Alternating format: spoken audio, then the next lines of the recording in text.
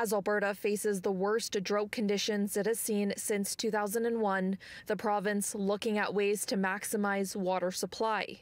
One water recycling project developed at the University of Alberta is being tested in Calgary. The new technology allows wastewater treatment plants to remove toxic pollutants like ammonia from water.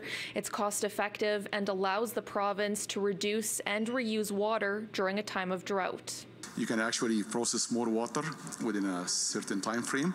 So this means uh, you can actually supply more demand for the reuse of the water. Hopefully with this treatment, followed by some other advanced tertiary treatment, then the water could be safely used for reuse. It's one of more than 150 research projects the province has invested more than $75 million into through its Water Innovation Project over the last nine years to maximize the province's water supply all of which are focused on cleaning our water, conserving our water, helping to return, uh, to, to return wastewater into a form that could actually be reused in a safe way.